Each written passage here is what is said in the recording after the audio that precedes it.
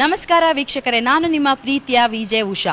So ಇವತ್ತು city round ಕಾರ್ಯಕ್ರಮಕ್ಕೆ ಸ್ವಾಗತ ಅಂತ ಹೇಳ್ತಾ ವಿ ಟಿ ಕಾಲೇಜ್ನಲ್ಲಿ ಬೋನ್ ಮ್ಯಾರೋ ಅಂತ ಒಂದು ಕಾರ್ಯಕ್ರಮ ನಡೀತಾ ಇದೆ. ಸೊ ಬನ್ನಿ ಈ ಕಾರ್ಯಕ್ರಮ ಹೇಗೆ ನಡೀತಾ ಇದೆ ಅಂತ ನೋಡೋಣ.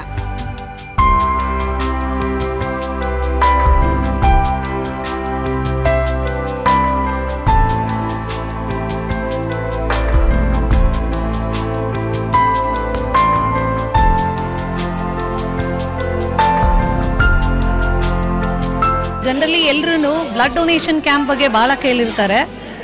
ಇವತ್ತು ನಾವು ಆರ್ಗನೈಸ್ ಮಾಡ್ತಾ ಇರೋದು ಬೋನ್ ಮ್ಯಾರೋ ರಿಜಿಸ್ಟ್ರಿ ಕ್ಯಾಂಪ್ ಅಂತ. ಇದು ಕ್ಯಾನ್ಸರ್ ಪೇಷಂಟ್ಸ್ಗೆ ಭಾಳ ಒಳ್ಳೆ